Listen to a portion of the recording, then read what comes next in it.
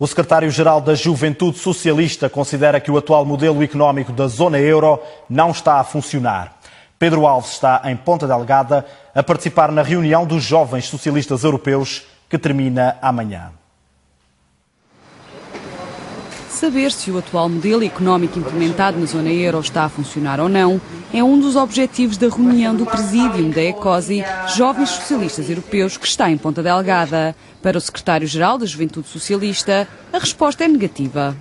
O modelo económico é que não está preparado para lidar nem com as necessidades, nem com, os, nem com as necessidades dos jovens, nem com os desafios que eles enfrentam neste momento, porque ainda olhamos para, eh, uma, uh, olhamos para a construção da economia como subordinada a uma lógica do mercado, como se o mercado funcionasse com lógica e como se não houvesse necessidade de uma intervenção, quer a nível nacional, mas hoje especialmente a nível europeu, que a corrigisse. Segundo Pedro Alves, as novas medidas de austeridade anunciadas pelo governo só vêm mesmo piorar a situação por mais austeridade que imponhamos, não só não gera crescimento económico, não gera oportunidades para o emprego e, no fundo, estamos a alimentar uma bola de neve que não tem solução. É inegável que precisamos de refinanciar a nossa economia, que o acordo, o memorando de entendimento, por muito que custe, era necessário para ultrapassar esta etapa, mas tem que valer a pena porque isso tem que levar a uma mudança de paradigma, uma mudança das políticas que nos governam a nível europeu. Tendo em conta as dificuldades que a zona euro está a atravessar e o impacto que isso tem a nível do crescimento e, consequentemente, a nível do emprego jovem, Pedro Alves defende que é preciso rever a dinamização da economia. Já para o líder da JS, nos Açores,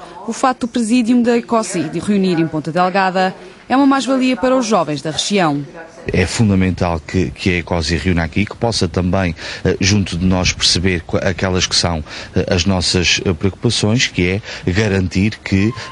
desses fundos estruturais europeus continua a haver uma grande prioridade às regiões ultraperiféricas e às regiões que estão mais afastadas dos grandes centros de decisão europeus, como é o caso dos Açores. Durante o fim de semana, a ECOSI, que agrupa cerca de 40 organizações de jovens socialistas europeus, vai reunir com responsáveis pelo governo regional, assim como da Universidade dos Açores.